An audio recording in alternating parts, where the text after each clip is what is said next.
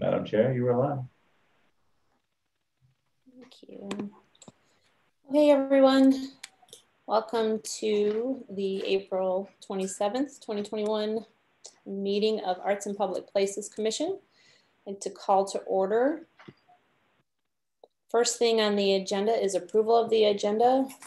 Do I have a motion to approve? Karma? Genevieve, I make a motion to approve. Thank you, Barbara. Do I have a second? I, Second. I second that. This is Krista. Wonderful. Next on the agenda is approval of our March 30th, 2021 minutes. Everybody had a chance to review the minutes. Are there any additions, corrections, thoughts, or comments on the minutes? Nope. May I have a motion to approve? So moved. Fabulous. So a second. I second. Thank you, Elizabeth. Aye. Hey. All right. Well, let's jump in then and start our old business um, updates. So I will let uh, Barbara introduce our poet la uh, laureate, Maggie um, Benshaw. Thanks, Genevieve. Hi, everyone. Sorry, I'm not camera worthy. I've had a rough 24 hours, so I'm not going to put on my camera. All good. um, I'd like to introduce, is, is Maggie on? Do we know? I am. Okay, great. Um, for those of you who didn't attend yesterday, like myself, unfortunately, Maggie Margaret Benshaw has been inaugurated as our next poet laureate. And uh, let her introduce herself and kind of give an overview of her vision for the next coming year uh, as our new poet laureate. Take it away, Maggie. Hi. Um, good evening. Thank you so much for having me. Um, and thanks for those of you that tuned in last night. Um, so, a little bit about myself. Well, you can call me Maggie. Um, I just, you know, Margaret is if I'm in trouble. Um, uh, this is my eighth year in teaching at Annapolis High School, um, and I teach for the Performing and Visual Arts Magnet program, um, and I teach creative writing for them. So, um, with that, I my love of poetry that I already have has really blossomed and grown even more, um, and I'm really just excited to share that love and really bring it hopefully to the forefront of um, the city of Annapolis. Um, hopefully, we will get some, you know, once things let up a little bit, we can get some events going on downtown um, for youth and really for all ages. Um, April is National Poetry Month, so it kind of stinks that we haven't been able to do much this month, but I'm hoping that this summer we can really kickstart some things. Um, I know the first event I'm gonna be going to with actually some students, um, the the Hood to Good poetry event is gonna be um, happening at Maryland Hall. So I'm excited to attend that, and that's at the end of May. But um, yeah, I have so many ideas to bring to the table, um, so I'm very excited to get started.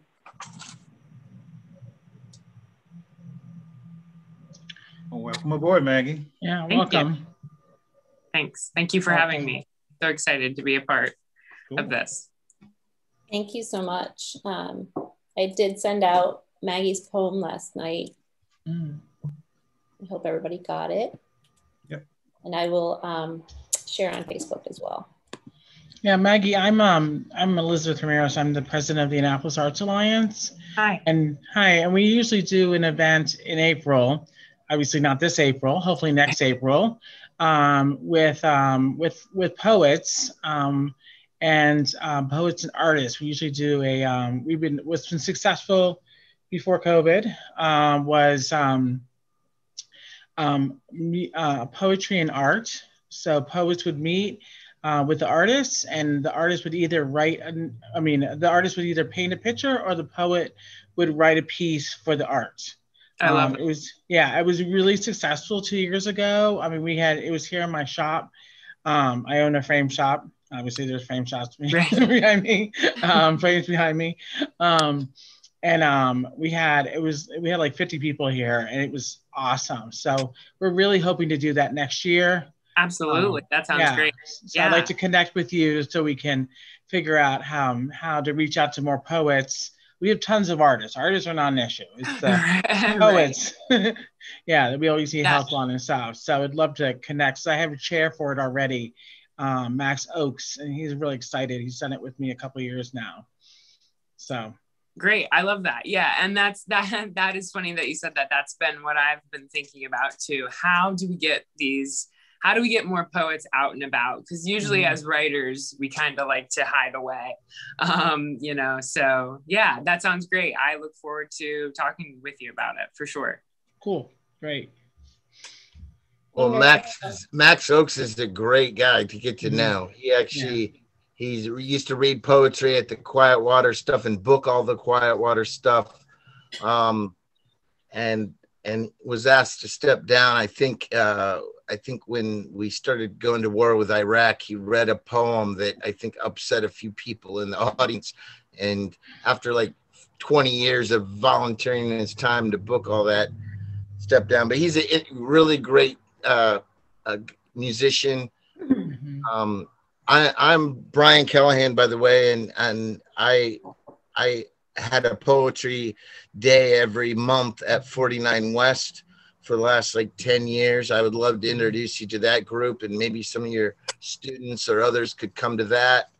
And I also work now in the mayor's office, so uh, either I or Mitchell will, I'm sure, uh, reach out to you either directly or through Genevieve to for certain events um, that the city might be having to uh, have you read pieces. You did great last night, and I'm glad that the council uh, all seemed to really enjoy your piece. And thanks Aw. for sharing it, Genevieve, with all of us. Thank you. Thank That's you, good Maggie. to know. That's good to know about. That's int- I, thanks for telling me about the Quiet Waters thing too. I actually live right by Quiet Waters, so maybe that's something um, you know we can get get back on, get back up and running. Very cool. Thanks. Anybody else have any other questions for Maggie? Okay, well, feel free to hang out, watch the rest if you like. Um, we're gonna move on to Elizabeth for gallery updates. Thank you. You're welcome. Thank you, Maggie, for joining us. Thanks, Um, Maggie. So, so, um, yeah, the gallery updates. So Pip Moyer, um, Audrey Lee um, took her work down mm, Sunday, maybe. Um, she had one sale. Um, he actually came to the gallery. We were in the gallery today all day, changing out 11 walls. like, this feels so good to sit. My feet are killing me. Um, but um, so one, and I think when and she said she said that when she spoke to people, and then the one sale she got, they all said there's just not enough traffic in here yet. Um, so I think that um, because she was actually was supposed to go into the to City Hall um, back last Christmas. So um, I think we'll because her work is you know all around Annapolis stuff. So um, sort of holding off to see maybe I can put her again in again in like November, December again when it's things are starting to pick up more and there's more traffic at PIP, um, or if the city is ever open again. Um, but still, I don't know how much traffic will be in there. So, uh, but she, you know, she she had made up, you know, um, all her stuff and she got one sale. So um, um, at least that's something. And then um, this weekend, Dale Hall is the next one. She's a photographer. Um, and she'll be going in from May 3rd to July 15th. The person I had coming in July doesn't want to do it anymore. So I was like, hey, push it to, to more. So um, we'll, um, you know, we'll see how that two and a half months see how that goes um, with Dale, you know, as a photographer. Um, and um, and then the person I, like I said, the person I had was um, Richie's, uh, not Richie, sorry, Ar- Archie's friend. Um, he came and he showed us his work uh, maybe two years ago, but I, I I've emailed him several times and he hasn't has emailed me back. So um, I'll start to connect, uh, you know, with more people and stuff like that, and and uh, there's just there's I'm afraid there are not enough people in the different places yet. Uh, there are a lot of people outside, which is great. Um, so I'm gonna I'll, I'll start working on it and stuff more. Okay. Um, so does Karma or do you want, or you both can give us the Oh. update on the Stanton Center? Uh, yeah, I mean we both could. Um, I forgot about that. We do have it under new business, Stanton Center. Yeah, yeah. Do I? Okay. Well, Do you want to wait till then? Yes. Okay, that's fine. Jumping ahead, gallery updates. Okay. What, when is the city hope to be open, the city hall? July or um, when Hogan lifts up the emergency state of emergency is basically, I think, when we're going to be opening up to public and so forth. Okay. So Can you text me that happens? Yeah. If in case I I, miss it. you know the minute I know, okay. which is after everybody else probably knows. So, yeah. right. Well, I just I just want to be prepared because, like I said, Audrey was had planned to go in there. She could go in there. Um, with Pip, Pip has she hung I think 30 pieces at Pip. Okay. So um, less I think is hung at City Hall, so she'd be prepared to go in there. Okay. Um, although she put, she sells a lot at the gallery, so I don't know. Okay.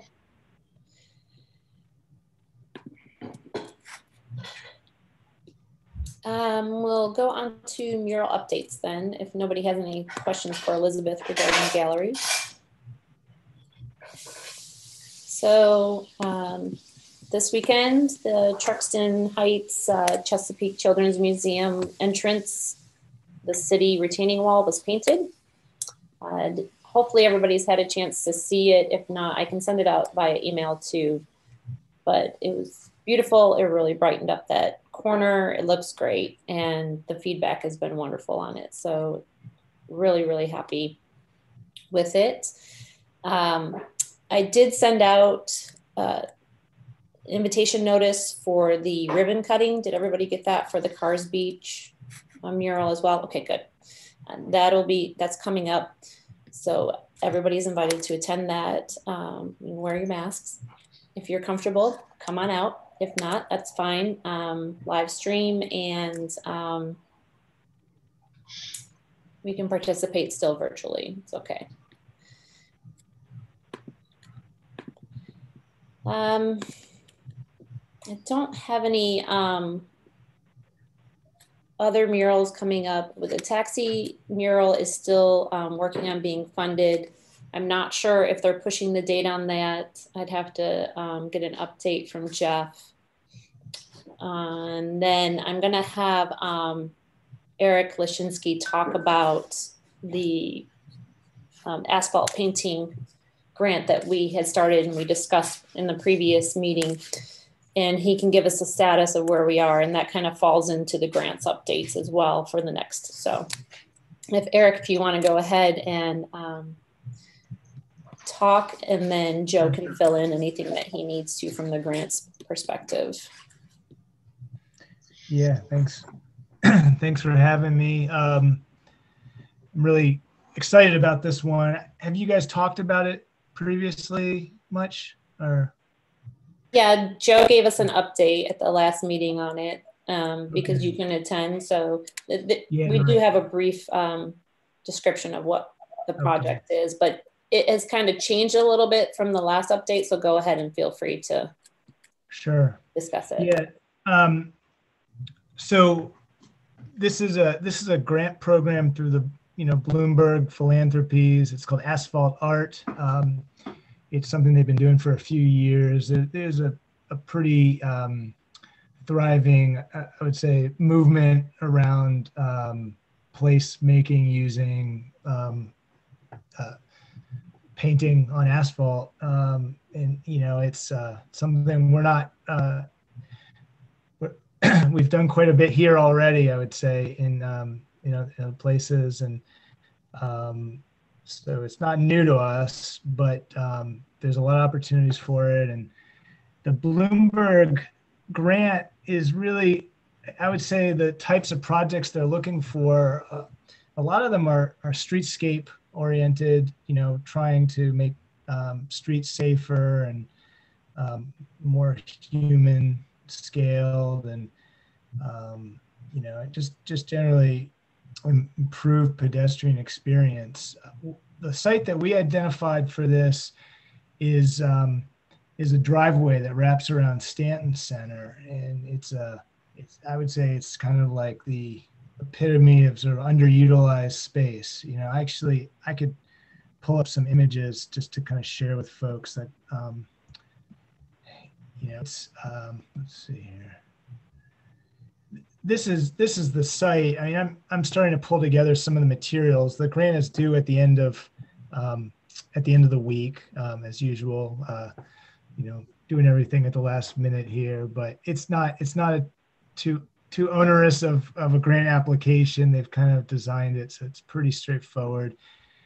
But you know, you can see when you zoom out, um, we're looking at you know the the inner West Street, Clay Street area. Here's the State House um, on the right, and you know this driveway around Stanton Center um, cuts a pretty amazing shape in in the city here. Um, you zoom in and you know that's kind of what we're looking at it connects west washington to northwest streets um, and you know it goes right in front of the entrance to the Stanton Center. These are, i'm embarrassed to say these are not my photos. I'm going to um, get some better photos. This is google but just wanted to kind of show the context um, for anybody watching at home as well. Um, you know it's it's a driveway. It's been used for parking. Um, this is the side on Northwest Street. Uh, clearly, it, it, it could be better. Um,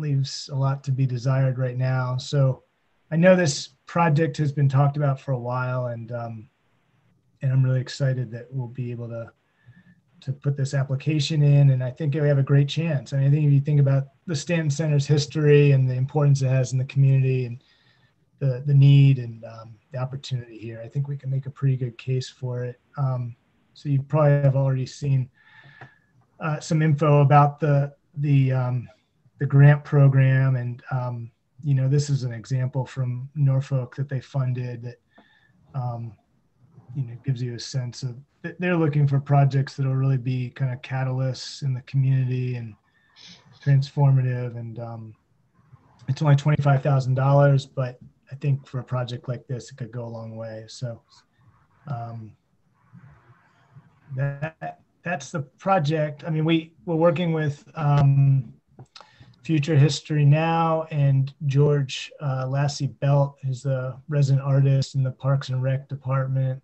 and um, and kids and community members. Ultimately, you know, this will be a community project. So um, that's that's what what it is. We don't we don't you know we're gonna probably leave some of the definition to when you know when we get the grant and we get to do the project and people involved can help define it ultimately.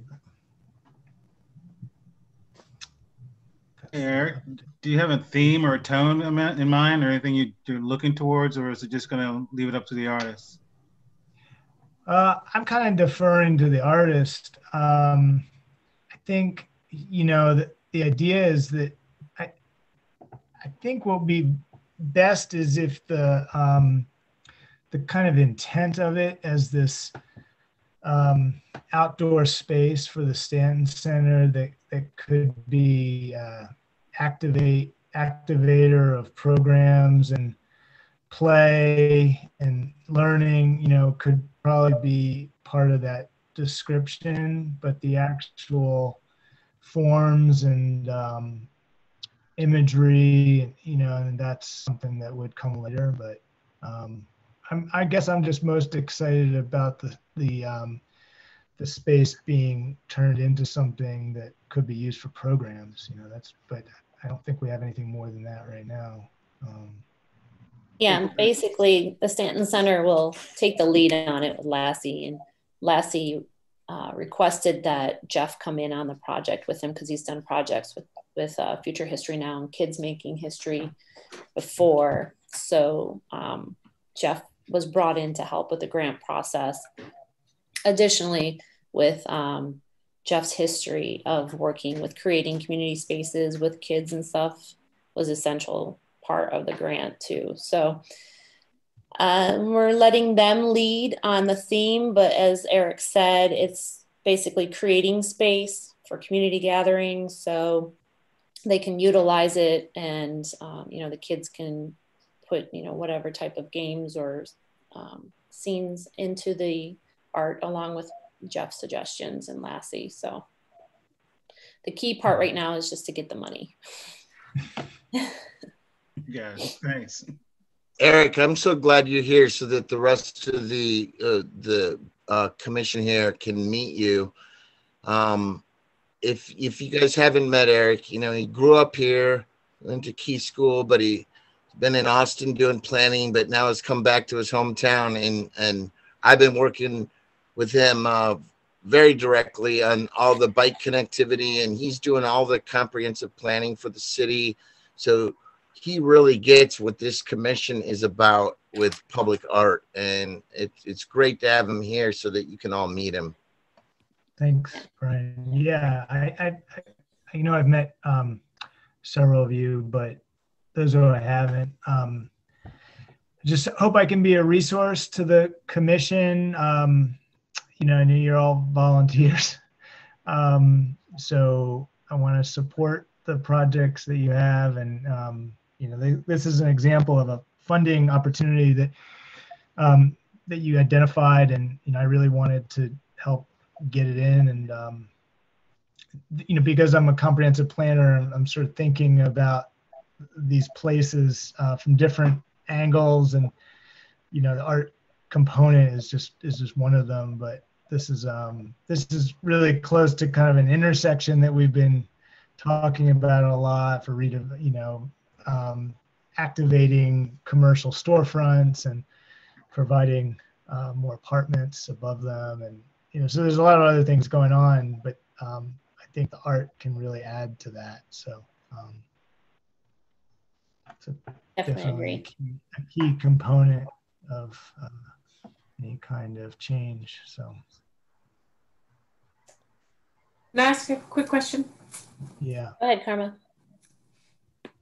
So the grant itself, uh, uh, reading through it is twenty-five thousand, um, is what we're hoping for. If for some reason we don't get that grant, um, is there any other plan or wheels in motion to try to alternately fund, um, will this project,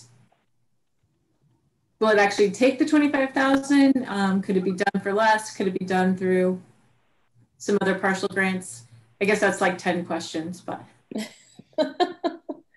um, yeah, if for some reason that we don't get the grant, um, then yes, we can still look forward moving it forward as a project through AIPPC or you know in partnership with um, you know other you know maybe even with the state, you know to get some um, grants from them for art or various other avenues. So I don't think it's a um, done deal and I don't think you know the project will will just go away if we don't get the grant funding. So right I, I would also add that the the webinar they made it clear that you can reapply um, you know that you can go through another round. And if the project evolves that would probably only make it stronger if if we didn't get it in the first round. Yeah, did you have anything you wanted to add, Joe, about attending the webinar for everybody? Because I know you updated Eric and I, but yeah I, I mean it was I mean, the the application is pretty cut and dried they which i actually find incredibly challenging they don't want a lot of verbiage and they're very specific about what they're looking for but i would say I certainly think the intention of the project, and in particular the way it, it it to call it an extension of the Stanton Center into a kind of public space, I think is a super strong message based on what I heard. Um, they they keep they kept emphasizing the infrastructure part of it, like the street part of it, as opposed to the art side, which I kind of get. But so whatever goes forward as the application has to kind of say stuff about that. But honestly, I think it's the community space that's that seems like the intention of the program to me very strongly. Yeah, I agree. Yeah, it's one of those applications where they want, you know, 100 words or less, uh, several different things. So it's uh, counting words. Um, it's always challenging to, Hard. to write briefly about something that you could probably write pages about. Yeah. I mean, they have the pull down menu stuff, which I think is actually fairly helpful because it kind of gets rid of a lot of the verbiage for you. But then it's like, what's the problem you're trying to solve in 200 words? Yeah. So, um, you know. Yeah. Great. Does anybody have any other questions regarding the grant process? Okay, I'm looking forward to completing it and, Mhm. and applying, um, crossing our fingers. Everybody send some good voodoo magic out there for us. I think it's a pretty quick turnaround too. I think they, so. We should know, which is great. Well, Thank you, Eric. Yeah. Again, feel free to hang out with us if you can, and we will move on then. Um, unless Karma and Joe had any other grant updates. Okay. So then we can move on to public outreach. Uh, currently, um, um, I guess I can start off with the 4th of July update because we just had the meeting this morning. Um, we are still, you know, in the um, preliminary concept planning for the whole weekend. It, it is Friday, Saturday, Sunday, and then I think they're proposing sidewalk sales on Monday because Monday will be an observed day for the holiday since it falls on Sunday. I say that right? Monday. And um, but we're not planning any other events for Monday as far as from the art scenes. So what we're looking at currently, let me pull this up, is um,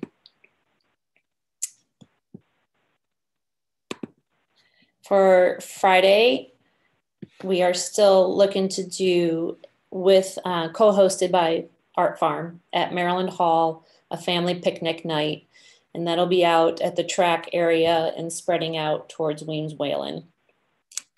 The um, the family could RSVP for a circle. It's free, but that way we're still physically distancing the families, and they can have their picnic spot.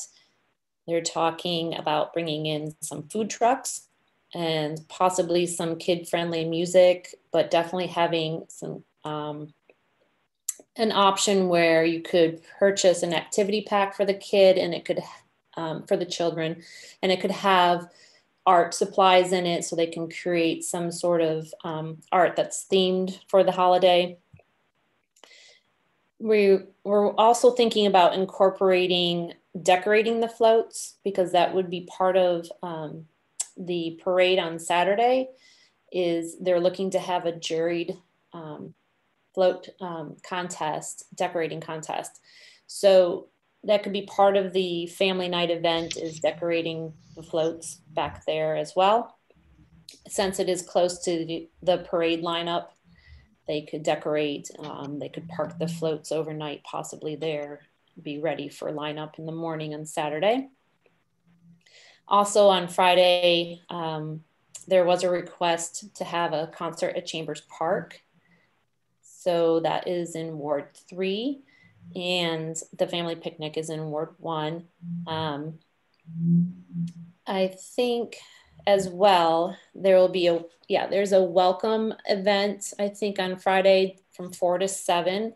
We're not planning that, but that's for the tall ships coming in because on um, Sunday, the tall ships will have a parade. down there. So in the water, um, preferably. and then um, uh, for Ward 2, Karma um, presented the idea that we could do um, some bike parades and they could decorate the bikes. The kids could decorate the bikes, that um, they could create some art out of that. Um, let's see. And then um, Ward 6, um, which could be in conjunction with Ward 5. That's something else that we discussed this morning that you know, we want to have large spaces to have these events at so everybody can spread out. So if you have a common space like Maryland Hall would service, um, you know, it could Ward three, Ward two, Ward one, you know, anybody in the city, you know, can come there, but within walking distance, there are three different wards. So we could do that as well for um, Ward five and six, as well as eight um, could walk there too, but have uh, an additional event at Pip um, Moyer in the parking lot. Possibly, I did reach out to Parks and Rec today to ask if they had anything already planned. They don't um, for the 4th of July. Their big marketing push was going to be for the pool. So um, I don't know at this point. Um, Archie will respond to my email, but we could possibly do this, and Bumper could also reach out to them too about um, having something there at Pip Moyer. Then um, for um, Ward 7, we were thinking possibly um, reaching out to Quiet Waters in the county and seeing what they had scheduled for the weekend. And maybe we can just partner, we can do a partnership with the city and the county at Quiet Waters since it is such a, a large area and could accommodate people physically distancing and having some events. So um, for outreach, we will reach out to them and see what they have planned. Uh, for Ward 8, we were looking at partnering with uh, Annapolis Maritime Museum or Second, um, Second Avenue to do stuff there because those spaces, they have had events before. They do music there. We know that the neighbors are receptive to that, but um, we still need further outreach for that. Nothing has been um, discussed as far as like planning. Uh, Saturday, the parade will start at 10:30 a.m. Um, again, AIPPC, that's a, that's a city thing. AIPPC isn't um, coordinating any of that, um, but they are looking to do the juried float decorating contest. So that, that can be artistic and be fun. So we can help promote that. Then, then after the parade, uh, Main Street will remain closed. West Street will close down around four o'clock. So they're going to do a dinner under the stars both Friday and Saturday night. So West Street will be closed. Main Street will close right after the parade on Saturday. And um, we're looking to book bands at the top of Main Street, not at City Dock. So we can bring the um, people up all through Main Street and not congregating just at City Dock. We're looking to hire three different bands, a 45 minute set each. Uh, the music would be from one to four o'clock. I don't have anybody confirmed for that yet. So I've started to reach out to ask if people would like to do that. I am finding um, with asking people to perform, people are not saying no, but they are expressing that they are trying to get the band fully vaccinated before they agree to do gigs. So I told them to definitely contact the city if they need an appointment. Um, possibly an appointment could be scheduled at Pip Moyer, but also telling them that there's walk-ins at the Naval Stadium too. So definitely need to get our artists um, vaccinated who want to be vaccinated so they can perform for us this summer. So something to keep in mind if you run into anybody, make sure that you refer them to those two clinics. They're right here in town and they can get some shots. So once um, I hear back from people whether they can perform at Main Street, I'll let you know. And then also was looking to bring um, a special event in with tango and with salsa. So tango would be on Friday night because that's their usual night to perform. and then salsa would be on Saturday, leaving City Dock open for Sunday. Salsa normally performs for us on Sunday, but on Sunday, the Navy Jazz Band will be there. They are tentatively um, have agreed to perform before the fireworks on Sunday. So, and I think I'm going through my list here, but I did share it with all of you. So um, feel free to edit. Oh, I did reach out to the Annapolis Police Foundation and um, unfortunately, because it is a very busy weekend, which understandably so, um, they will not be able to host movie nights for us that weekend. So if we can find somebody else with an outdoor movie screen um, and projector, then possibly we could do movie nights on that weekend. But as it is right now, I don't think we're going to be able to do movie nights. But let me know if you know anybody that, that could service us for that.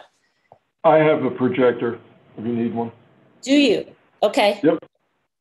And we've used Okay, it here outside, so it's, it's, it's, it'll do the job. I don't have a screen though. Okay. Well, maybe if we had like a large wall somewhere too, we could project it off of that if it was the right color. But okay, well, at least we have a projector and we we have something to work with. So I'll keep that in mind. Thank you, Bumper. That or maybe the police might lend let us use their screen. I don't know. We can ask Kevin, but I'm not sure. But, Yeah. But we can. Yeah, we can ask. Hey, Um, Gen- Genevieve, something else to think about. Um, 45 minute sets um, for bands to get through. I lost you.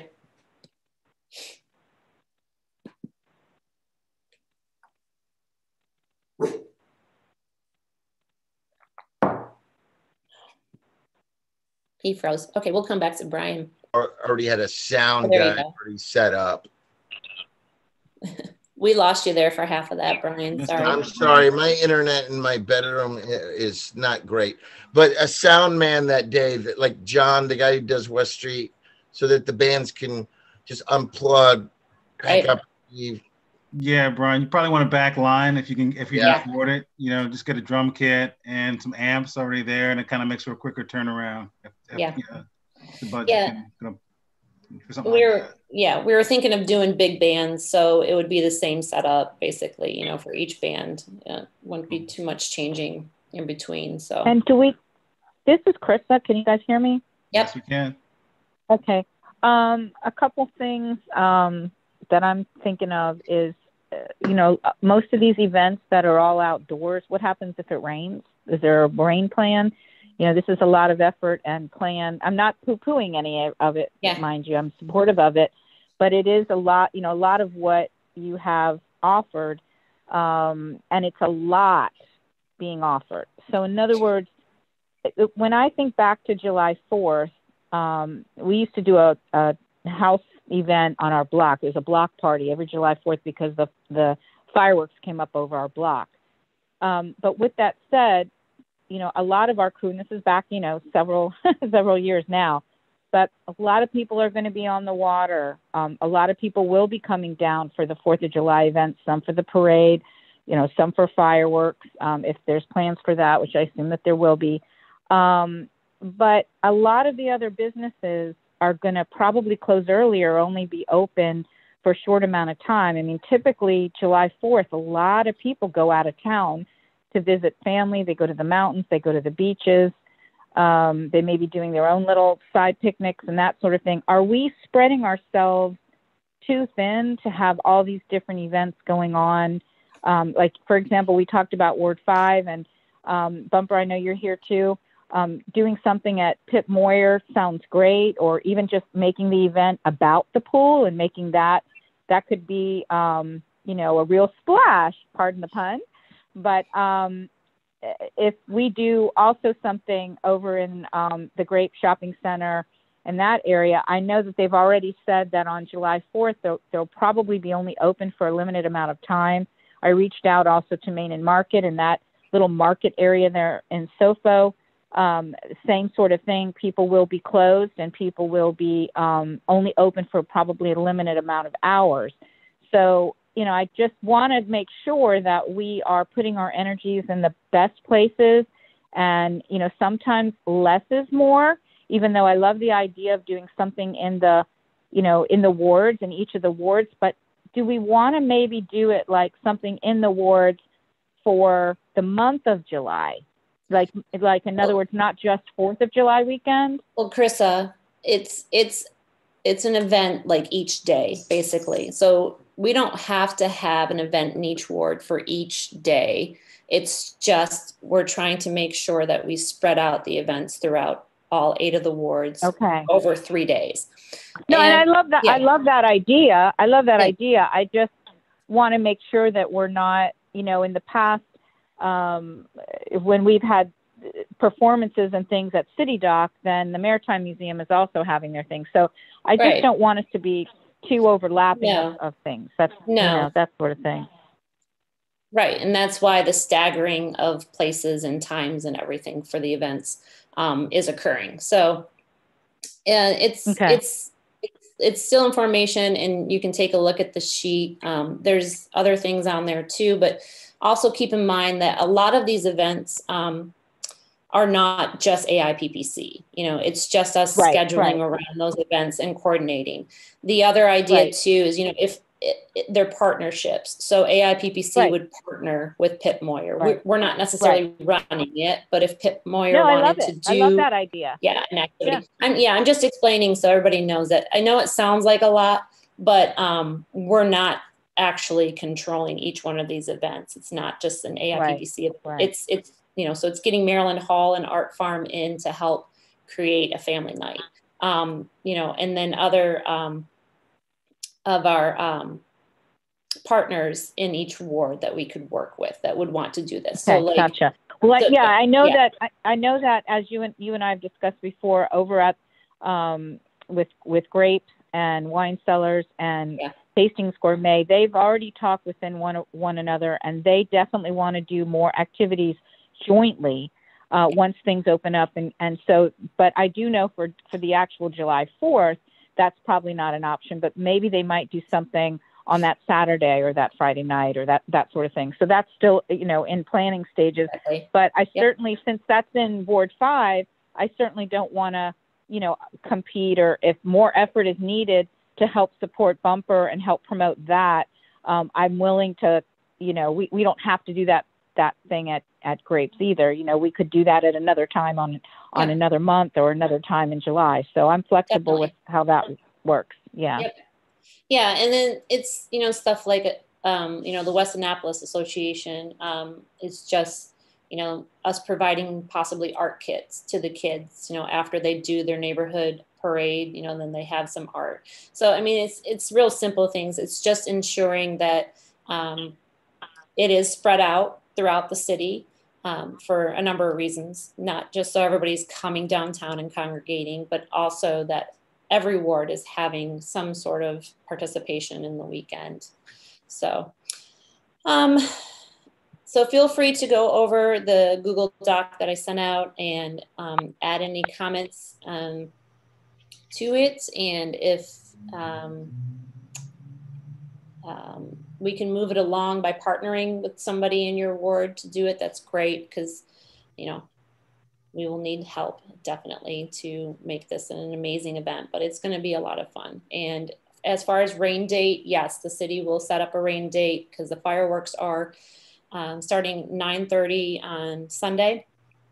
But I'm sure there'll be a rain date for all of it if it's going to be awful that weekend. And and sometimes we do get rained out on Fourth of July, so it's a very valid thing for us to be um, mindful of. So.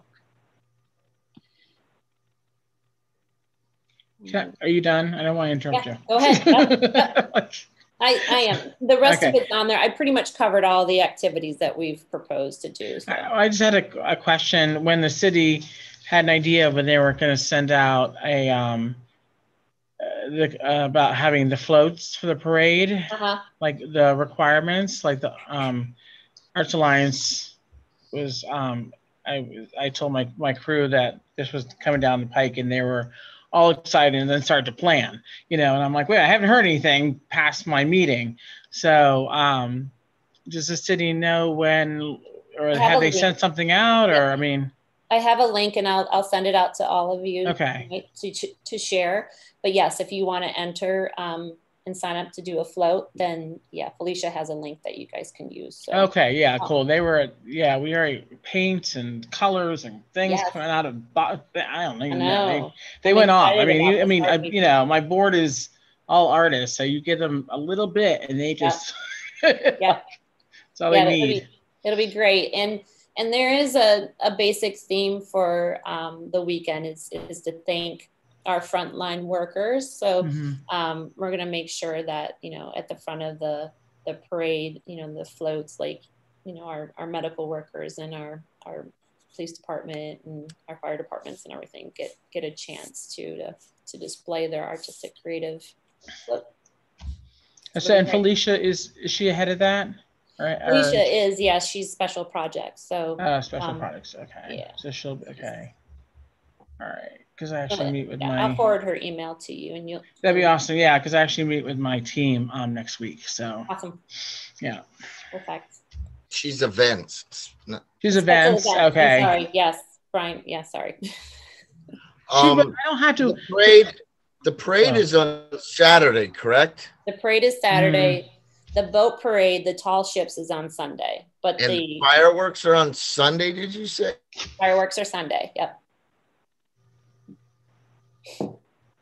Yeah, and and the city plans on um, presenting a preliminary calendar of events coming up. Um, maybe later this month, as soon as um, some of the stuff is starts to become confirmed. So um, everybody will have that, so you can start planning. Um, you know, if you want to go to the beach on Saturday, it's fine. Come home for the fireworks or whatever. So they'll be releasing that information as it as it becomes um, Is- more solidified. Does uh, does June does Arts Week fall under public outreach updates? Yeah, so I was yeah, so I sent that. Sorry. Um yeah, that's fine. Yeah, I was gonna I was gonna touch on that.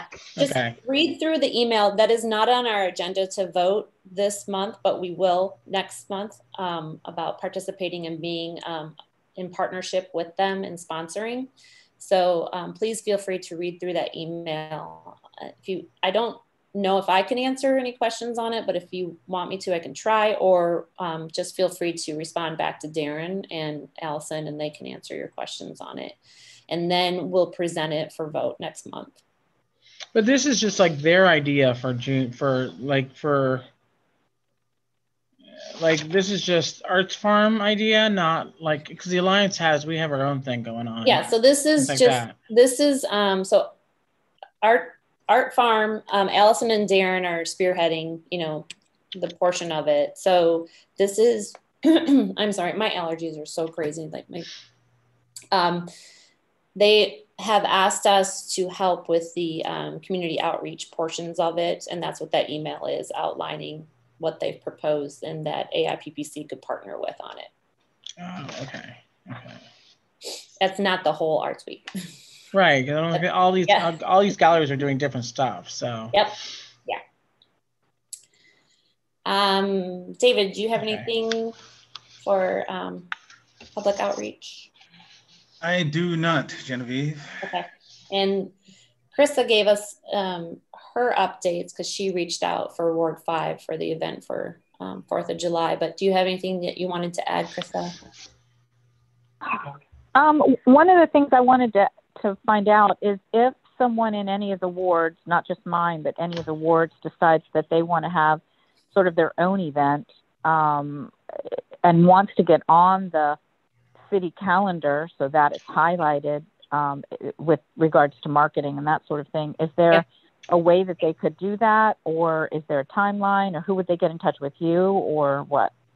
Yeah, well, so more than likely, if it's an event in the city, they've already um, contacted Felicia to get a permit for it. So Felicia pretty much Okay. knows all the events. But I also think that yeah, they could they could share it. Like if it wasn't a permitted event, didn't need a permit, um, we could definitely share it with Felicia or Mitchell, uh, who is generating. Yeah, just so that we are we are promoting other activities and you know, due to COVID, you know, the businesses, and I know Ashley was going to check to see uh, what we can promote or what we have to be mindful of with regards to if we're partnering um, art with a restaurant or, you know, for example, in the grapes, I keep mentioning that shopping center, the clock tower, because that is kind of the main hub of Yeah. um, our ward. Um, and it has a big parking lot, so, you know, it can accommodate uh, cars and that sort of thing. And it has this Sweethearts Patisserie. Um, of course, Calico Corner is there too. Um, but it has like a walkway. So if artists wanted to line up their artwork, they could do that as well. I know Elizabeth and I have talked about that. To what extent they have in what they have in mind, what Stacy and Ellen um, have been talking about, and even if they would, I don't know for sure that they're going to do it for the July 4th weekend, but when they do something like that, um, I guess what I'm asking is what support would they get? Like, what marketing would they be able to get for something like that? Um, same holds true in Sofo with um, Main Ingredient and uh, or Main and Market, I should say.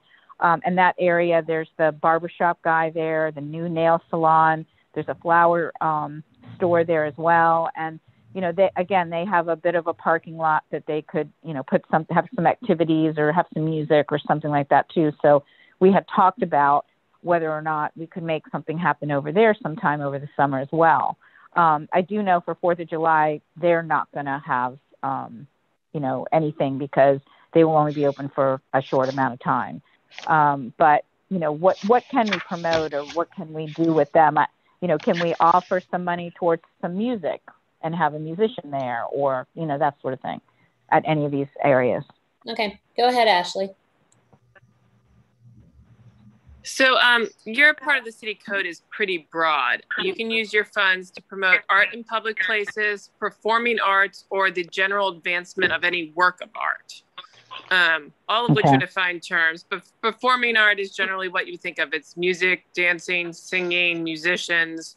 Um, art in public places is a more specified thing that has to either be in a city facility on city land or it has to be on private property but there has to be city funds involved in the installation of it or maintenance of it um, but then you also have the broad category of advancement of any work of art and work of art is a very broadly defined term Gotcha. in the city code Okay, good. so you just Okay, have good. to make a justification that it falls in one of those three categories.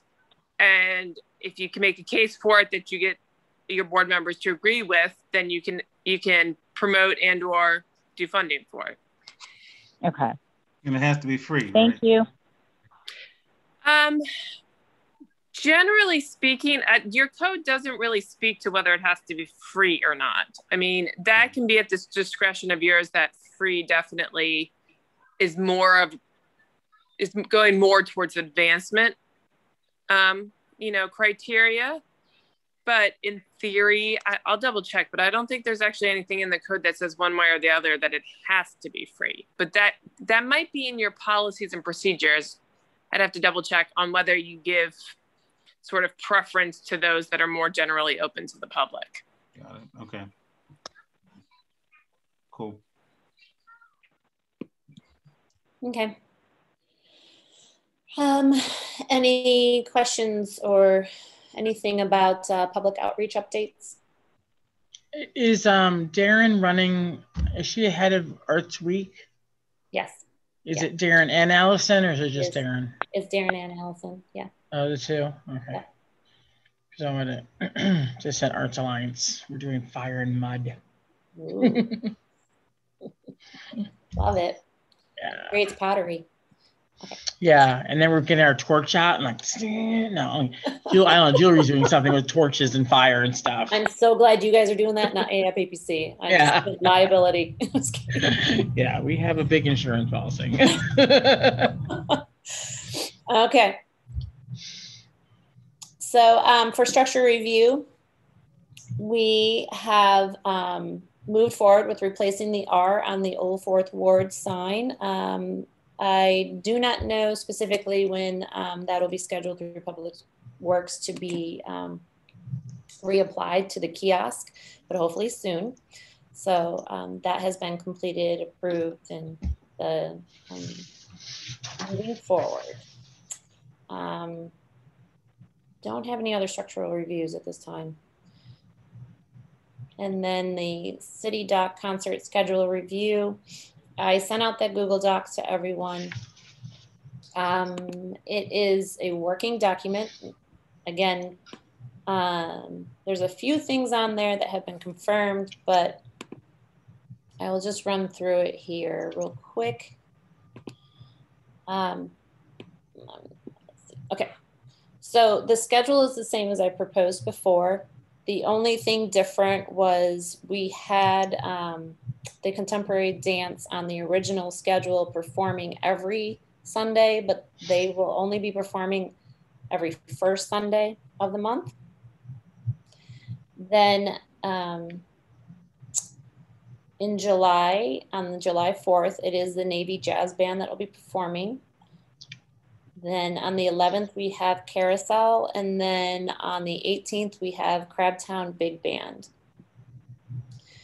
And then, of course, on July 9th and July 25th. So July 9th is tango, and July 25th is salsa night.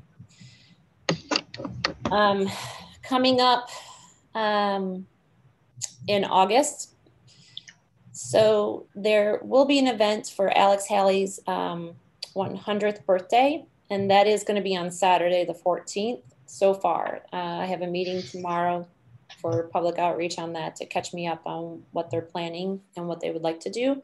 Who's sponsoring that?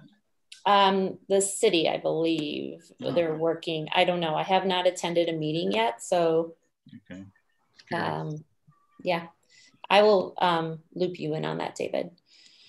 And um, I'm not sure if it goes to Sunday or not. So right now I'm holding that position just in case they need City Dock for Sunday, but I'm not 100% sure. But if they don't, then we'll open it up.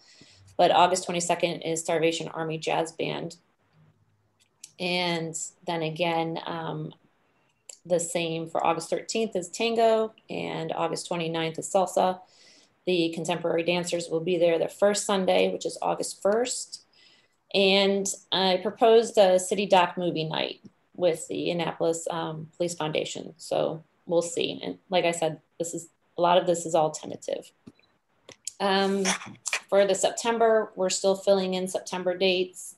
I do have a New Orleans um, traditional kind of old school rock and roll um, Zydeco a go go on September 19th.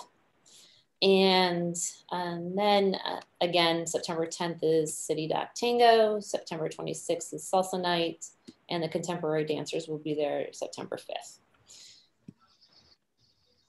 October, I don't have any bands at this time.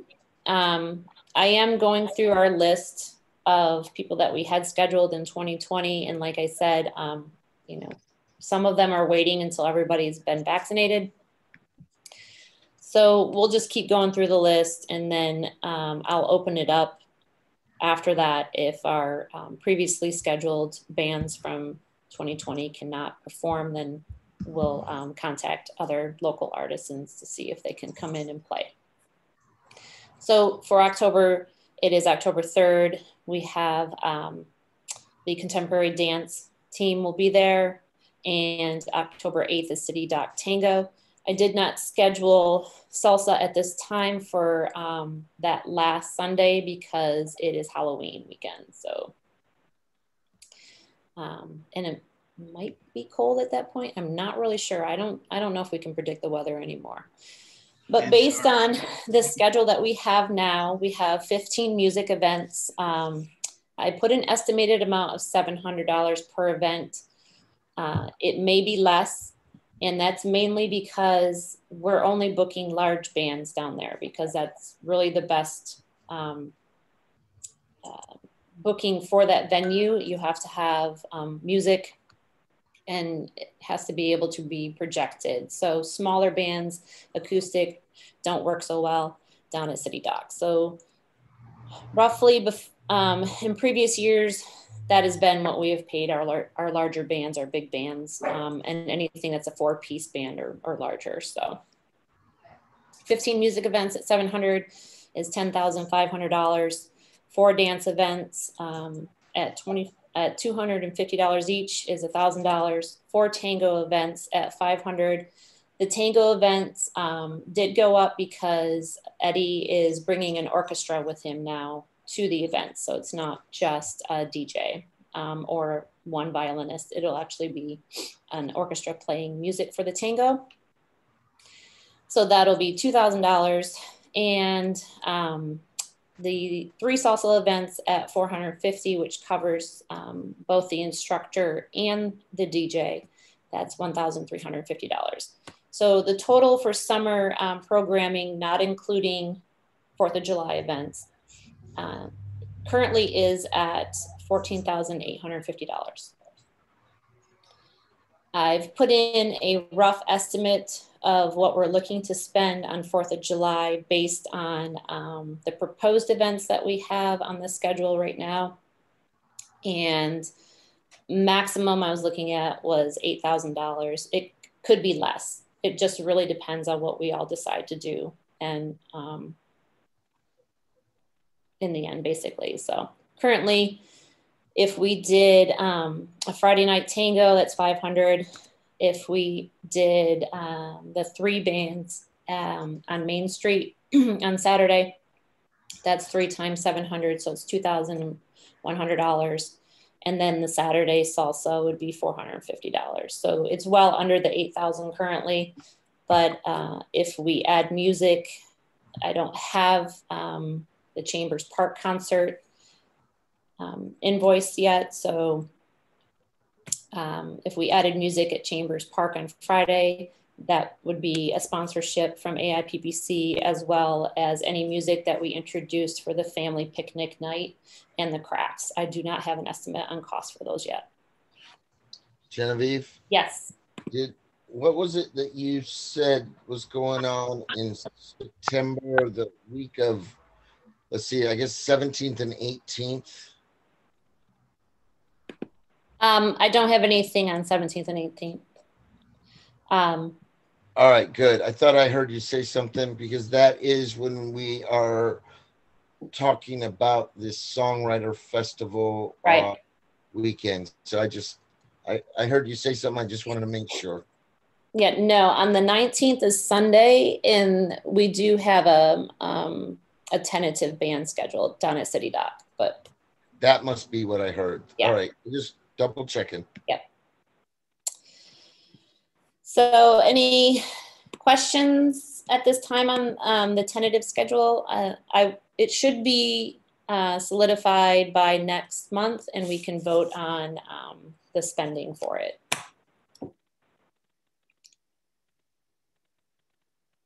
Okay. Yeehaw. Yeah. I'm actually, this actually got me really excited because I'm, I'm ready to have events again, but you know, baby steps. okay, and then next up is everybody's favorite since I was just talking. Talk, hold on. Apparently, the dog's favorite too.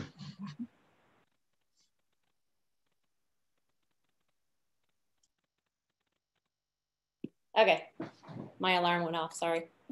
Um, since um, we're talking about spending money, the budget. Did everybody have a chance to review the updated budget I sent out? And does anybody have any questions on it? Okay. So the one, I'm just the 160 that was for the sign you just mentioned. I'm sorry, what was that? Line six is 160 bucks for sign craft. Yes. Okay. You just Yeah. said invoice, didn't get a. Yep. Okay, cool. So I thought. Yeah, so um, coming out uh, would be the 3,500 for the taxi cab mural, the Juneteenth award of $3,000. Sign craft was um, $160. That was for the R for the Old Fourth Ward kiosk. And then um, it won't be reflective. I'm not really sure, to tell you the truth, um, we can double check with the city, but how they do the compensation for the poet laureate. But um, that will be reflective instead of 500 per year that we um, changed it to 1,000 per year. So that will show up on the uh, budget as well at some point.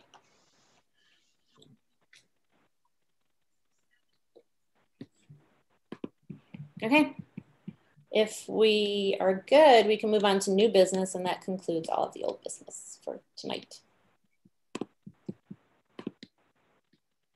So um, we will let Debbie Wood come in and speak to us. Um, they're looking to put a new turtle sculpture at the Chesapeake Children's Museum and I'll let her tell us about it. Hello. Um, so I know most of you. Hi, nice to see you. Hey, Debbie. Not yet in person. Um, so the Children's Museum is in a uh, city-owned park, and around 2004, I'm not exactly sure when, um, Arts and Public Places installed an exhibit that was just rough wood, tree trunks that were chiseled and sculpted, and they were lovely, but over time they deteriorated. So about a year ago, I asked if the remaining ones could be removed because they really didn't look like anything, and we were closed. So I thought it was a good time, and um, and we we got to thinking of a new project for the uh, concrete circles that were left. But anyway, one one, and I got a grant from Four Rivers to do some mosaic tiles on some of the bases that were left behind. But one of the statues was a turtle. And I recently found a beautiful turtle sculpture that's about the same size and instead of raw tree trunk, it's made out of recycled aluminum. Um, the same art emporium also had a mailbox with a matching turtle on top, also made of recycled aluminum, and a pinwheel that's four feet wide that I pictured going on the roof so that you know it doesn't get messed with, but it would be directional. It would show you the strength and the direction of the wind. Um, and then while I was looking, I saw some really cool hand painted turtles uh, kind of a Latin American motif, bright colors. And I thought it would be cool to put those all around the park on the trees. Um, I don't know if any of you remember Mel Wilkins, but uh, he passed away about a year and a half ago. But anyway, his signature in every park that he had a hand in was to put a face on a tree. So anyway, I want to put butterflies all over the park.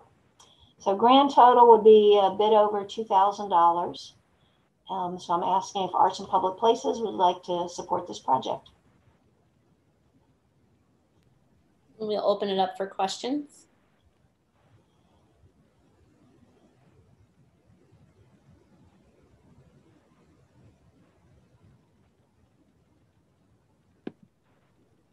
Do we have any questions for Debbie?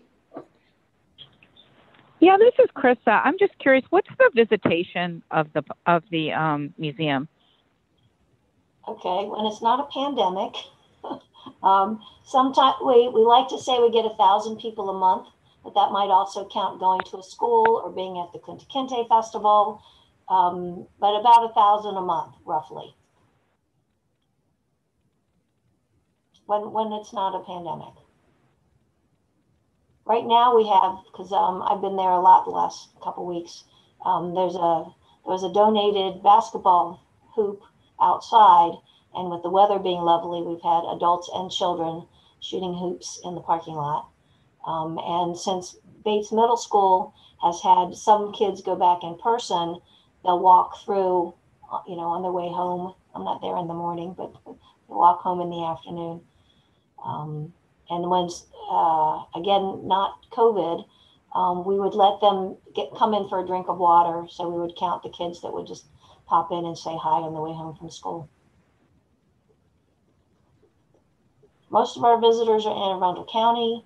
Uh, there are families like Genevieve's that can walk. Um, David comes with his son. Uh, Elizabeth's daughter was there when she was younger. Let's see. I know Brian's been there. I don't remember seeing you there with a kid, but I think we've all been there. yeah. Yeah.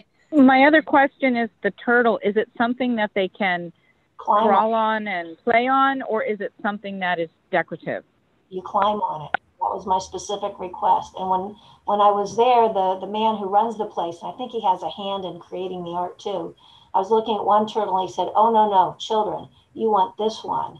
And he showed me another turtle that had softer edges on it. He said, "This is this is the one that I made for the daycare center down the street." So they are it's made to be climbed on. Or I wouldn't have it. Debbie, why don't you tell them about the grant application and ideas that you have uh, for the place? what, which, which grant application? do grants all the time. Well, I know you were doing a big one for this year for some of the, some, some stuff. I don't. I, Well, the I'm blanking. parking lot grant, and we're getting, we've been approved for forty thousand dollars from the Maryland Heritage Areas Authority. And it's mostly to redo the parking lot so that we don't have to wood chip it twice a year. Um, and to make it not only environmentally friendly, but also pedestrian safe, so that when kids get out of the car, they go right onto a sidewalk that has interactive exhibits along it. Um, because otherwise they're stepping out of the car into the mud if we haven't wood chipped recently and they walk to the asphalt where the cars are driving. So it's to get kids out of harm's way and also something that's more environmentally friendly. Um, but these interactive exhibits, I've sketched several of them, and it's all about how uh, our interactions with nature, how the wild animals, you know, there's, one has um, paw prints, and then you can touch them, and the, the words are all in Spanish and English. All our outdoor signage is Spanish and English. Um, say another one is solar energy. So inside this plexiglass um, box are solar panels that move according to how much sunshine there is that day. And I have interest from the Annapolis Makerspace to make some of these things. So hopefully that will move forward. Uh, but the, the guy who's doing the, the parking lot project, I picked him because he's the one, Chris Moore, uh, he installed the ponds behind the museum to slow down the, the rainwater from the street before it gets to Spa Creek and removed all the, the phragmites. So he knows the park and he's environmentally conscious and he lives in Annapolis. So he's our project manager and he says uh, June looks like is when he's going to get started on the parking lot. And then also thanks to Genevieve, we're I'm pretty sure I haven't heard anything otherwise. I'm pretty sure we've been approved for twenty-three thousand dollars from the, just the state general assembly to have an amphitheater that Chris Moore designed. When I said, "Can you be in charge of this parking lot project?" He said, "Oh yeah, and how about this?" So now we will we'll get money from the state so he can add an outdoor amphitheater. So all these activities you're talking about, where can you hold them? We want action in the park. It's a city park, and I'm looking forward to scheduling some stuff in the amphitheater. I did a little grant, I haven't heard back yet, to get, um, uh, what do they call it? A universal swing, a swing that anybody can get in. It's like a, an inner tube with a bottom in it. So somebody who's physically challenged could be lifted and put in it and swing along with two or three other people. I haven't heard back from that yet. I have more ideas if you want them. Yeah, I know. well, let's focus on the turtle. Okay, yes. but yeah, and we'll have you back for the others. Um, any other questions regarding the turtle? So is this just this isn't just for the turtle? This is the turtle, the mailbox, the pinwheel, and butterflies, Yes. Right? Four things. So what are the what are the butterflies do? Is it just a cool thing to add to like- it? What I- did I see what I thought I saw? Yeah, it's to get you to notice nature. And that's what Mel's face does. I don't know if you've seen the one at um, if you if you're in a parade at the street end park. What's the name of that street? When you leave Maryland Hall, there's a little street end park. Constitution? Mm, that's like one block down. Anyway, there's a tree there, and I was there, and I saw the face on the tree. I said, "Ah, Mel's been here." Mhm. How big are the butterfly? Um, only about eight inches. Oh, And I okay. would put them, I would put them high enough so it wouldn't tempt anybody to touch them. But they're brightly colored, so you can't help but notice. And then the mailbox would be out by your mailbox, or Oh, yeah, we would replace the, the mailbox that we got for free from, uh, what's his name? Jared's store. Mhm. Um, he, he donated a mailbox a long time ago. Joe Um, some Littman. Teenagers painted it. It's time for a new one.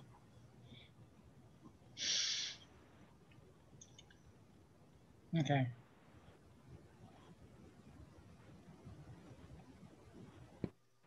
Did anyone else get booted except for me? No, just Oh, you. Wow. Okay. Sorry, Cool. uh, David. Don't. Yeah. Do you have any questions, David? Um, no, Debbie. Um, I've seen uh, your work and uh, I have no questions. Thank you. Okay. Well, thank you, Debbie, so much for presenting. I really appreciate that. Um, I Thanks, will. Debbie. You're welcome. And everybody saw the the photos, right? Yes. Yep. Yes. Yeah. I sent it to everybody. Thank you. Okay.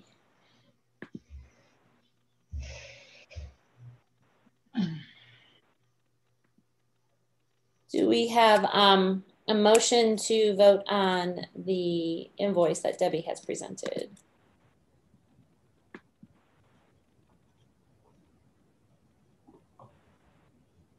David, uh, motion to vote on Debbie's turtle project.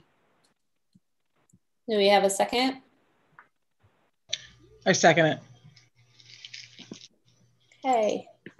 Um, Carmen, could you do a roll call for votes, please? Uh, Genevieve, Aye. Joe, Aye.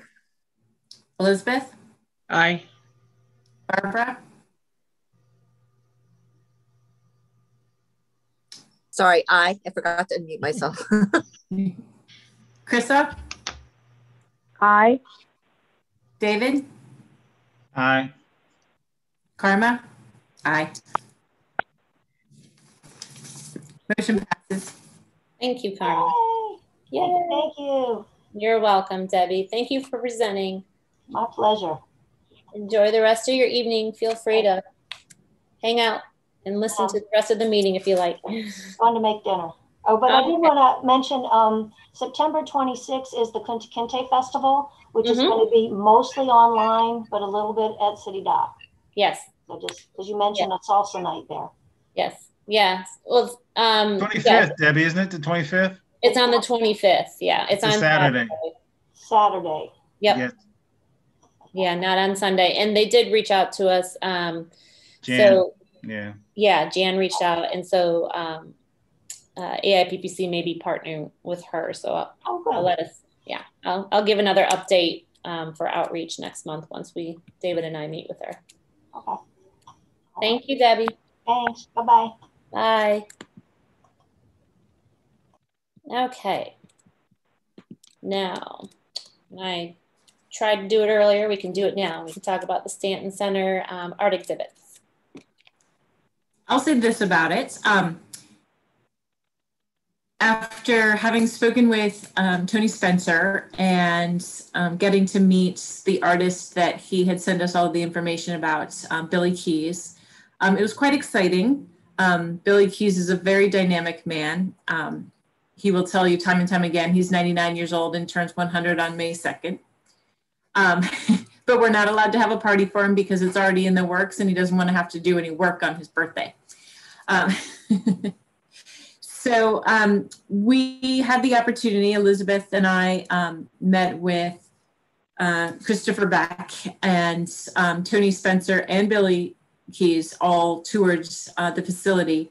Um, we looked at a couple of spaces, um, the main lobby area being one of them. Um, upstairs on the second floor, there is a 10 by 10 um, exhibition case um, that's about a foot and a half deep. Um, it has the ability to be locked. Um, and then there is the conference room upstairs that it currently has um, black and white photos around it. Um, we could also, we could use some of the space on the walls um, and also u- utilize the replica of the classroom that's set up. Mr. Key's biggest concern was the lack of foot traffic. Um, and especially after talking, you know, hearing Elizabeth talk about the lack of foot traffic currently at Pitt Moyer. Um, currently, the only foot traffic that the upstairs would see is if people intentionally went upstairs. Um, it is not a space that is widely used um, and currently is not even open to the public. Um, it's open to the children that attend both school and after school programs there um, and their parents who come to pick them up. Um, so we would have to do a pretty major um, marketing and um, you know, marketing blitz and you know a lot of publication surrounding something if we wanted to do something there. Um, Mr. Key's idea is sort of three parts. Um, he's an artist by nature. He's sort of Jackson Pollock in his um, in his style. Um, lots of really cool things. Um, Elizabeth, did you get a chance to go to his studio? Pretty amazing. Uh, yeah, it was. Yeah, it was almost overwhelming. You're so talking much. about William Snowden keys. Um, I don't know that Snowden is his middle name, but maybe. You mean you mean his his in the garage of his house, all the art? Yes. Yeah. Yes. Yeah, he, he's like he's 96 on May 1st, I believe. No, he's not. He's 100 on May 2nd. Oh, that's right. You're right. Hung twice at 49 West. He's got he's a great great guy. So um, after the tour and before Elizabeth got to go see his work, um, she and I had a chance to just chat a little bit. Um, while I believe that his work is really amazing, um, I think his artwork should be shown elsewhere in the city where there's a much higher amount of foot traffic. Um, I think that it could be combined, and we both talked about this, um, with some of his collection. He has two pretty large collections, one being baseball. Um, overwhelmingly awesome. Uh, baseball bats, mitts, um, gloves, balls, um, photos, pretty much from the early 20s forwards. Um, he has over 5,000 baseball cards um, that are mounted on foam boards. He has write ups on every um, prominent baseball player. an entire wall of his studio is dedicated to baseball. I think that that would be an amazing exhibit to go into the Stanton Center. Um, I think that the kids would really love it. Um, I would make sure that it was a locked cabinet because I could see my own kids thinking, wow, that's a really cool baseball mitt um, and taking off. Um, the other part of his exhibit or the, of his collection is all surrounding the war. Um, and it's a lot of war paraphernalia, um, guns, rifles, pistols. What are they called? The hats. I know they're called something else. Hard hats. helmets. Thank you.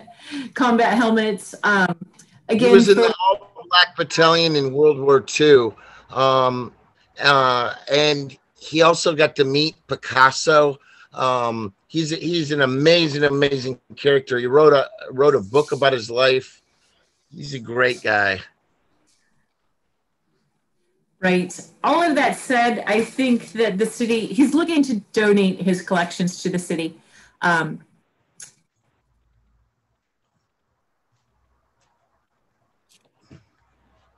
Did she freeze? In some respects, I think the base um, you know, but I do think that by putting his art there, I think that would not be doing him a favor um, in, in as much as getting it out into the public eye. And I, and we talked, and Elizabeth, you know, chime in.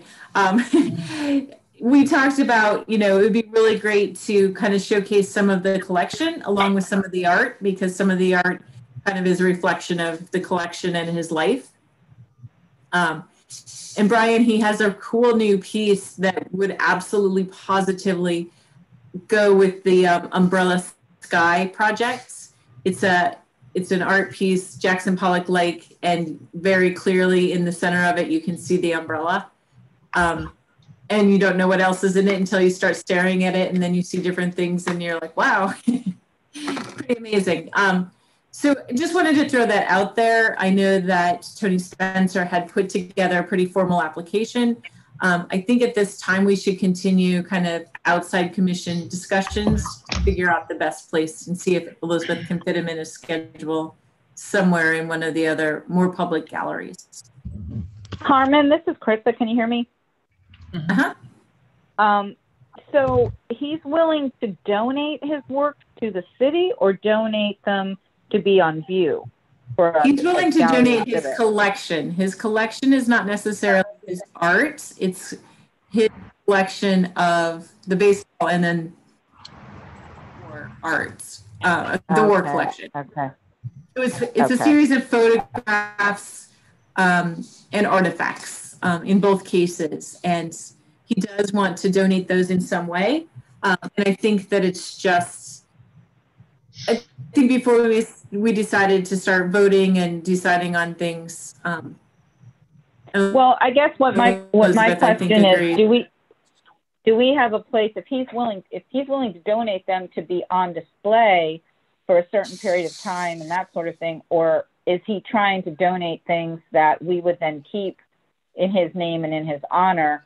You know, are we Brian? Do we have um, the storage to really be able to take care of a collection like that and everything that needs to be involved with regards to conservation? Yeah, so I'm gonna I'm gonna interject here for a second, Brian. Hold on, please. Um, when I spoke to Archie about um, doing this display, the idea was to have it as a rotating display, as well as having the executive director at Banneker Douglass, Chanel Compton, um, part of this whole planning process. So I think Okay.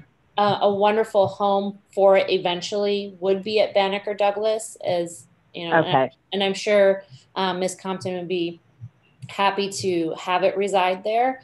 But I think in the meantime that we, um, you know, they wanted it, and the request was specifically by all three gentlemen um, to put it in the Stanton Center for a period of time, and then we can. um, Gotcha. Okay. do Okay. it. Yeah. That sounds like a. That sounds like a. Losing you, Brian. Can't hear you.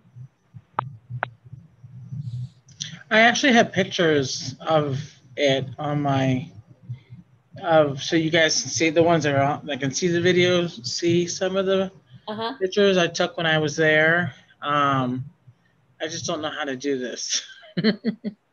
You share your screen, I share my screen, so I just click on that. the green First. button on the bottom. hmm Yeah.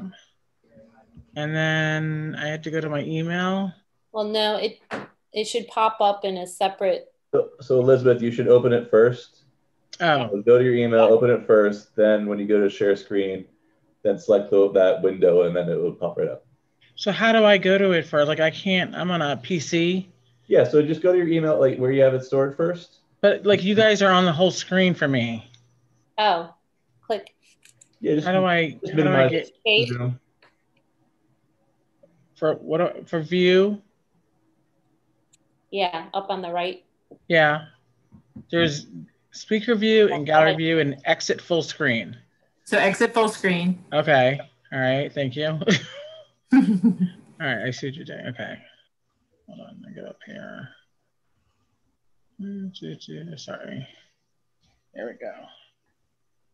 Okay. He's got a great picture of him with Fidel Castro. Yeah. When Fidel came to America and was trying out for the Mets. All right. Sorry. To give a moment to just download it. so He also played pool with Ella Fitzgerald because his father and, and uncle had a pool billiards hall called the Keys Billiard Hall right near the theater, uh, the Howard Theater in DC.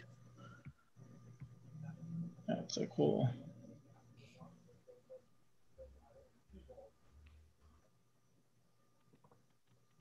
They're, they're just downloading. Okay, so then I go back to you guys. Let's see. No, that didn't happen. Did you, did you already open the, the files? Yeah. Yeah. So you go back to the, the Zoom window, Okay. and then the bottom share screen, and then after you click that, you should have options of what window to share.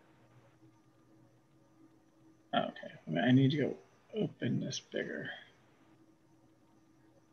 Oh, wait a minute. Full screen. Okay.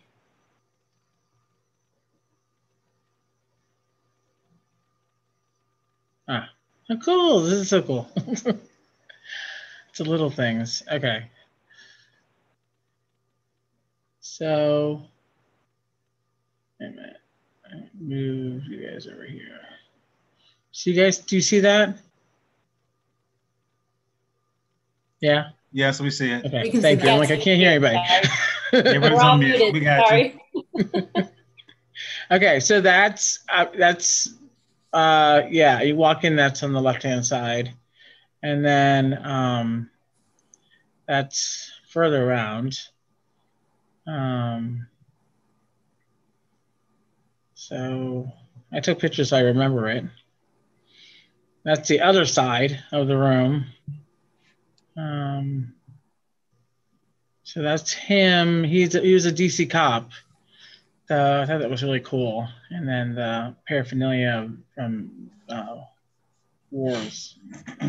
So that's him with um, Christopher Beck. They were talking, obviously. So I think I just have. I believe he was in the tank battalion, the all black tank battalion in World War II. Yeah. And we should get an oral history to go along with it as well. Yeah, I got him on video as well. Not here, but um, like on my phone. I just he was talking about he was just talking to, to Christopher, and I just pressed record. Yeah. Um, Wonderful. yeah, just to get sort of an idea of um. Um, oh, here we go. Let me sorry. Let me go back to. Let me stop sharing. We can talk about. It. He was, yeah. I mean, as you saw all the stuff, he um he has so many different things and stuff. But as far as a show, like even with the memorabilia, someone has to take this on. I mean, he he'll just be like here, you know, and you have to write all this stuff stuff up. Even having a show at Pip, you know, which we could totally do. But someone had there's a spreadsheet, there's hanging stuff, there's wall cards, there's all this stuff that I don't. I the artist does, you know. I don't do all that because I'm a volunteer. Um, it, it's a lot of time. Um, He wrote a book. He wrote a biography too that tells his life story. But it would be great to get some of it documented, uh, video or at least sound, sound wise, of him telling his stories because he's got a lot of them. He does. He does. No, it is something that Tony Spencer is also willing to take on. Um, and so, like I said, I think that as opposed to weighing down the commission with all of the details and the finite planning, um, you know, perhaps Elizabeth and I can kind of do a, an offshoot committee, um, start working with Tony to come up with a better, um, more detailed kind of rounded out plan versus all these pie in the sky ideas. Um, yeah. So that we can then move forwards and maybe we're talking about the showing in the fall or next winter um, if there's a better space. Um, I just don't think it's something. Initially, we thought he wanted it up for his hundredth birthday, and he said no, he didn't care. He didn't want that. So Okay. Yeah, and we can pick and choose some pieces to put in um, the display case at Stanton Center, and then additionally work on um, the original idea of displaying artwork in Stanton Center in the reception area, and then possibly upstairs too. You said there was some wall space, so yeah, I think it's I think it's um, open for further discussion by the gallery, um, the Fine Arts Committee, and we can move forward as well as definitely bring in Banneker Douglass to in on it because she can help curate. Yeah, Christopher and I talked um, after uh, Mr. Keys left. Like there was like this lull time about having um, a show there with other artists. Um, Genevieve, that you like you and I had talked about, um, because Yeah. there is a nice, um, you know, foyer that you know when you walk into, and then we could put like grids or additional stuff up around the window area, so we could have hang more stuff. Um, Okay. But of course, the traffic is the air. You know, it, there's not a lot of traffic right now. Right. Um, But I mean, like I said, for any show that we do, um, you know, it, it, there's a lot that the artist has to do that you guys don't see Right. um, because you just see the final project. But like David can attest to it, you know, having had shows in both. Did you have it at Pip yet, or just City Hall? No, we were scheduled for Pip, but then COVID kicked us out. Yeah. Well, you'll come back. We're still So- here. yeah, but, but just setting up for City Hall with a lot of pieces and stuff, and Yeah, all the the spreadsheets and all the It's a lot of you know, you know, a lot of logistics and stuff, and you know, yeah, transportation, getting art pieces to and fro, that kind of stuff. Yeah, He does have a lot of pieces that look very like Picasso-esque, but he also he did a show at uh, 49 that was a lot of crayon folk art, and people would come in, and I remember going, they'd be like, Brian, what's with the the children's art? And I would be like, oh wait, this guy is in the all black battalion. He's 90, like two years old, and then I would tell a story that he told about a piece. For instance in front of the Keys Billiard Hall. Uh, uh, some uh, neighborhood, uh, the the black folk from the neighborhood sitting in the lawn chairs outside, and maybe weeds growing. And he would say, despite the destitution in the streets, and then he'd point up to the second story windows. There's still flowers in the window box, and people would be like, "Oh my gosh, I want to buy it," and they got into it once you knew the story behind the folk art. Yeah. he's a he's a fascinating uh, i love bill key. Right I think it, it seems to be a resounding yes. Just a matter of coordinating. Yeah. Yeah. I Yeah, think, so- it, yeah, it, it, it could be possible multiple projects coming out of this. I really think so. Yeah. Further planning and moving forward sounds like a great idea. So thank you, ladies, so much for going and meeting with them and, and moving these projects forward. It's very exciting. And then last thing on the agenda is the Alex Haley birthday celebration. And as I said, my meeting's tomorrow, so I don't have much information, but they are planning it um, to be an event on that Saturday. So we'll see. Um, I'll send out a, a brief, I guess, after my meeting tomorrow for all of you guys. And then I can answer questions at the next meeting about it. It leads us to open discussion. Does anybody else have anything that they'd like to talk about?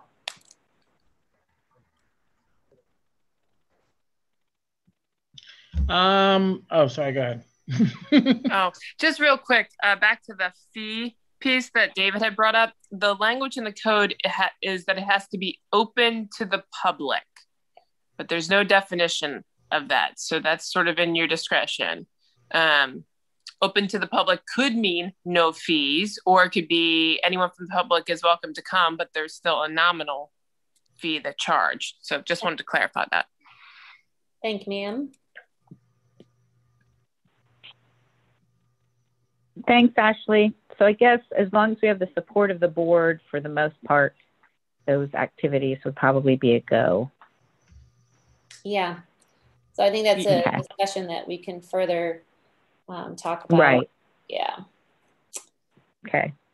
i have no more updates about the songwriter festival but that people from around the country did come a few weeks back and i showed them all around and they are shooting for that weekend of the september 16th 17th and 18th It- it- they're they're they're thinking of a lot of uh, bar and restaurant venues, but they are looking for a final performance night.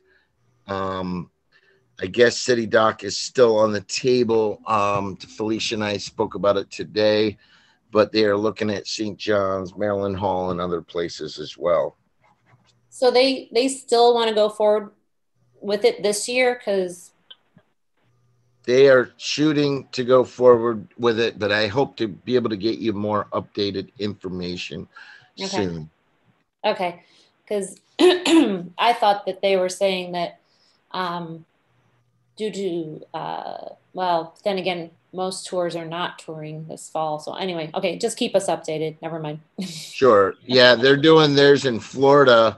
Uh, I think in June or July. They are moving ahead, but Florida's been way more open than us. Uh, but they are here for September. Yeah. Okay. Yeah. Excuse me. Um, there was concern, I remember at the meeting, just the fact that um, last year's concert schedule and previous events were canceled and you know they have makeup dates this year. And everybody was projecting that tours and um, some of the artists who are songwriters as well that come to the songwriter festivals would have to perform at those makeup dates. So there was concern that they weren't able to do it this year but i actually um, know that a lot of the tours that thought that they would be back at the end of this year um, this summer um, end of the summer are not actually doing it so that's that's what i was talking about just for clarification if anybody wondered what i was mumbling over here on my end.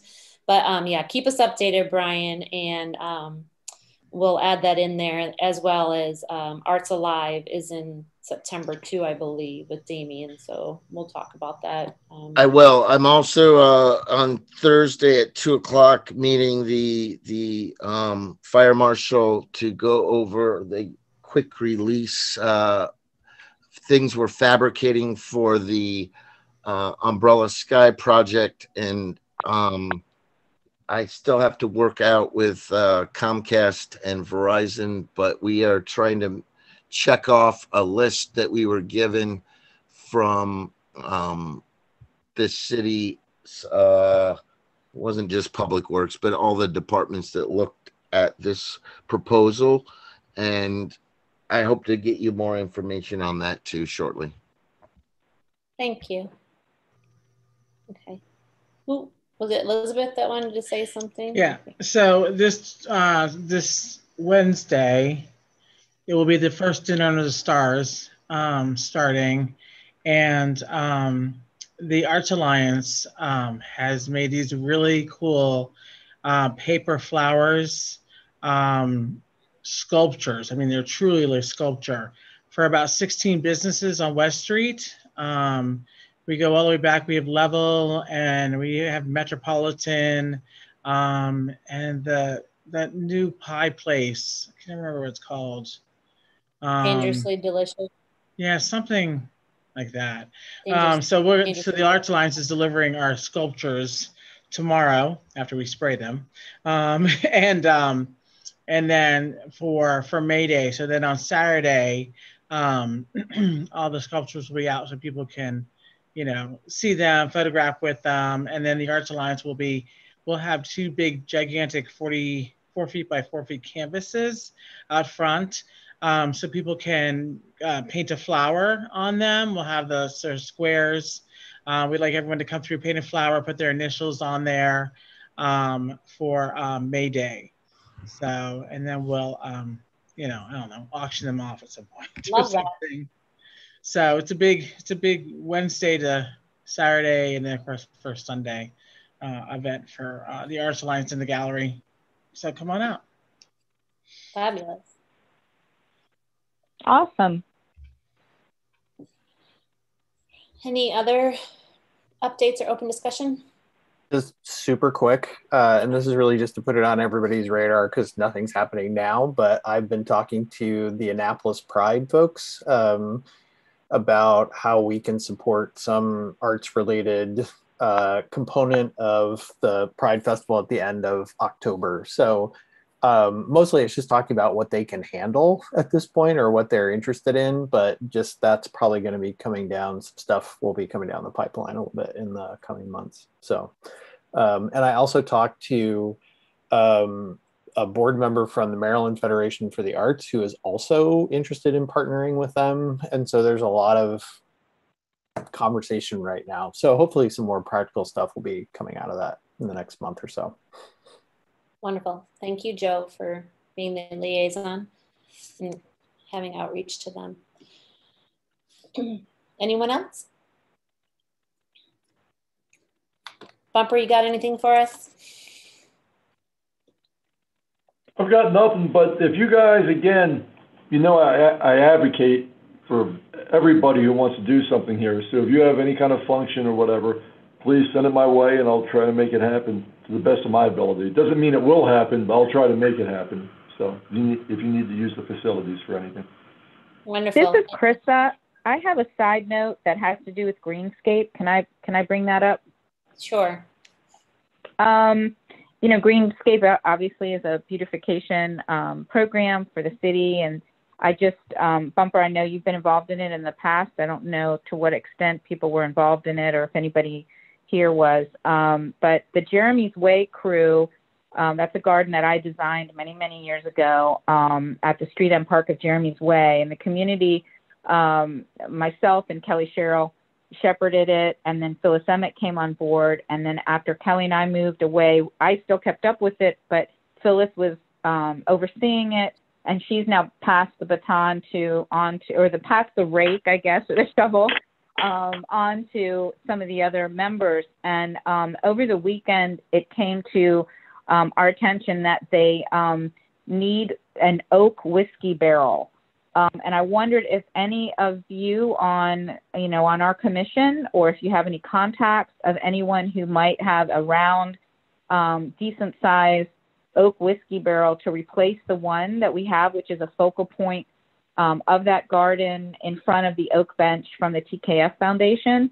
Um, it's a really beautiful spot. It's gotten a lot of attention over the last, I would say, last five years. It's gotten more and more uh, traffic and people um, enjoying that park in Eastport. So I just wondered if anybody has any connections with anybody who might have a um, a planter, an oak um, whiskey barrel planter. Uh, Jeremy's Way is looking for one. Thank you, Krista. I have, I have, I have full whiskey barrels, but it has to be cut. So, I mean, I've actually do have them to be made into planters. I just have never gotten around to it. But, um, Ooh, can we? Okay, I'll I'll shoot you an email. Is that you, Bump? Okay. Yep, it's me. Okay, So, yeah. awesome. Thank you. All right. Okay. Wonderful. Thank you, Bumper. Mhm.